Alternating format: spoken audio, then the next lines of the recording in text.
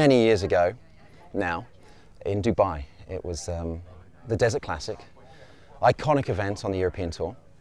And it was Tiger in his prime. Tiger was on the putting green doing some putting drills, and it felt like the entire city had turned up to, to watch. And we are enjoying the scene. It's fair to be said that we are enjoying the scene. And most of us, the putting green's packed with all the other players, and we're standing there and we're actually not looking at Tiger.